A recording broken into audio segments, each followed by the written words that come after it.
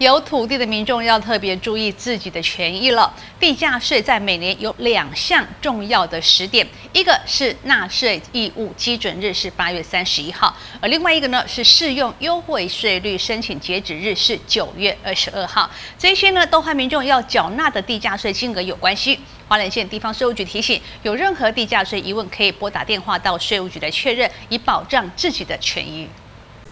地价税开征是在十一月份，一次缴纳全年度的税额，因此地价税有两项的重要时点，都攸关着民众要缴纳的税金额度。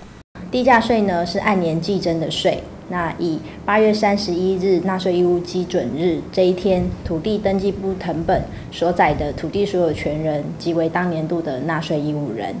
那不论你实际持有期间的长短，都必须负担整年的税负。那第二个重要的时点就是九月二十二日，就是呃地价税优惠税率的申请结限日。那今年呢是公告地价调整的年度。如果说你的土地符合自用住宅、工业用地或者是向向道用地等，都记得要在九月二十二号以前提出申请，当年度才能适用。那如果说超过九月二十二号申请的话，就是从次年起适用。